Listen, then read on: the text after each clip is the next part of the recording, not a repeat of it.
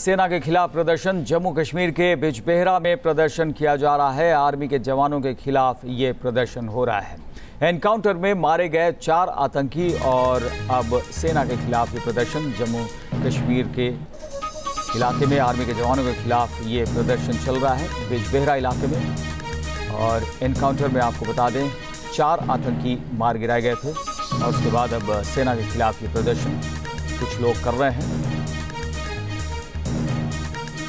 तो कुछ जगह नाराज़गी भी है। सेना के इस एक्शन को लेकर एनकाउंटर में चार आतंकी मारे गए और जम्मू कश्मीर के बिजबेहरा में ये प्रदर्शन हो रहा है सेना के खिलाफ।